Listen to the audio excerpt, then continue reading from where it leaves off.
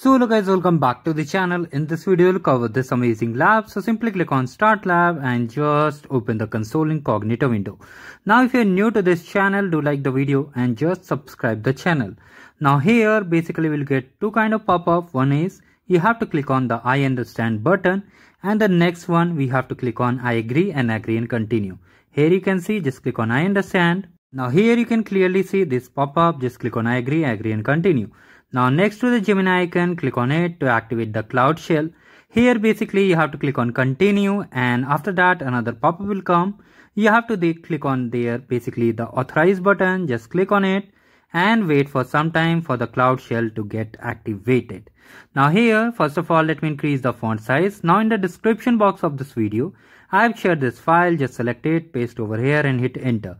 It's present in the name of GitHub section. Now wait for these command to execute. It may take 5 to 10 minutes and after that we have to do some manual steps also. So kindly wait for it and you'll be able to get full score on this lab without any issue. Now here first of all it will delete the node pool and then it will create a cluster in the region. So it will take some more time so wait for it and then when I'll show you how you have to continue just follow as I am doing.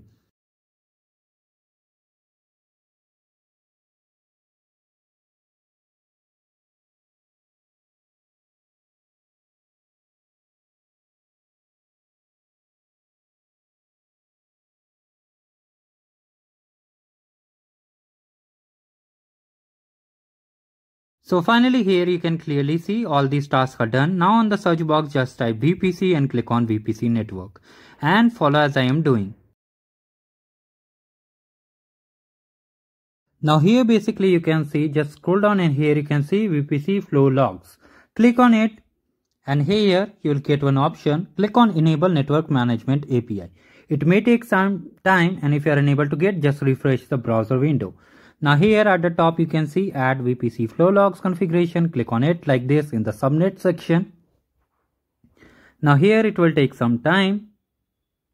Now here you can see we are getting this default option. Just select the default and just click on OK. Now here you can see the filter option. For the filter option you have to come to the lab instruction and find the zone. Let me show you how you have to come over here. Just come to the lab instruction Come to task number 3. Here you can clearly see that we have basically the region. Okay, here number 4 is the your central one. In my case it's different. In your case it might be different. You have to just paste over here, hit enter and then you'll be able to see the subnet over here. So just check it like this. You can see Sometimes what happens the page reloads itself. In such case you have to close the cloud shell because we'll be using the cloud shell over there only. Now here First of all, close it and just click on this checkbox.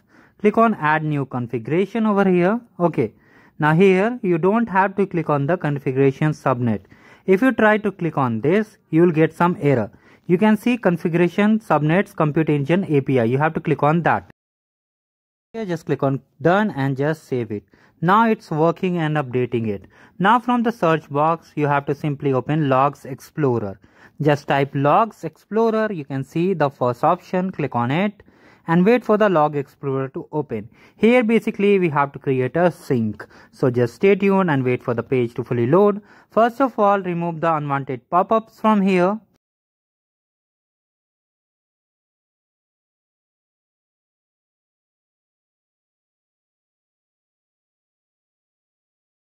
Remove the unwanted pop-ups from here carefully.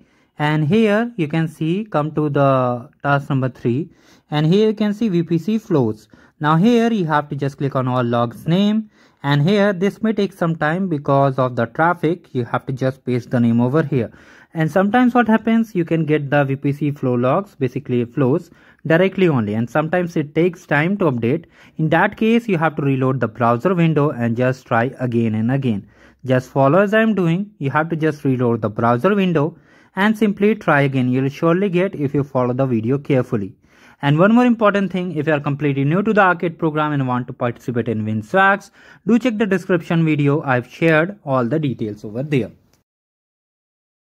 Here just try the step again and here you can clearly see the step is carefully mentioned over here. The page is still loading. So you need to wait. Okay you need to wait for the page to fully load and then simply try to just select it. Okay if you are able to select it you can just select it or you can search it also manually. So just click on it and if you are unable to see the apply filter just zoom out using the control and mouse wheel button. Okay mouse wheel and then click on apply over here. Now finally the project will be applied over here. Basically the log will be generated also and here you can see click on this action and create sink. So just try to create a sink. I know it may be difficult for you for the beginning. Just watch the video carefully and follow carefully. You'll be able to complete it. Now here basically in this step we have to create a sink data set and just complete it. So for that come over here. You can see on number 8 it's showing the sink name. Copy the name carefully paste over here click on next and sink service will be BigQuery dataset now in the BigQuery dataset click on it create new BigQuery dataset for the name it's like this copy the name carefully paste over here and just click on create dataset it will take few seconds. Now click on next, next and create sink.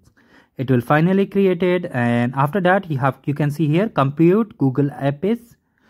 Uh, it will be shown over here. For that you have to just come to the search box and just open the BigQuery.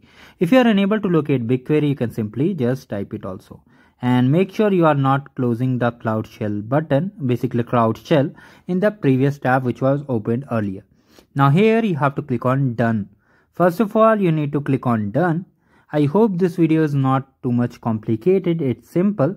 You have to click on done and just verify whether the dataset has been added or not. So let me show you. Here simply click on this project ID. You can see this. Here finally this dataset is missing. Which one? Let me show you. First of all refresh this dataset. For that you need to wait for some time. It may take time. You can meanwhile check the score. And for the last task it will take some time. So you need to wait for it. So just wait.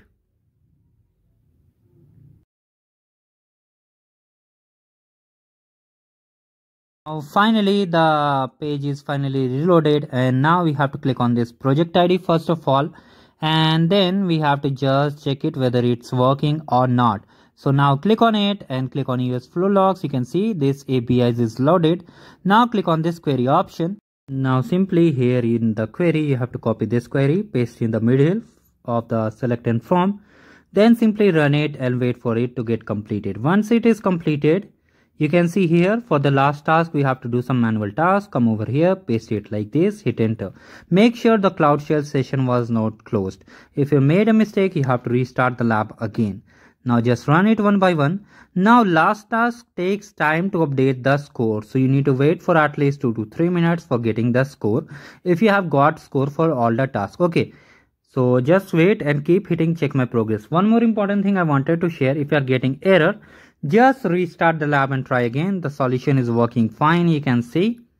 And I will surely get full score in this lab and if you have any query, you can let me know in the comment section guys. You can see I got full score and that's the way we have completed the lab. Do like the video and subscribe the channel.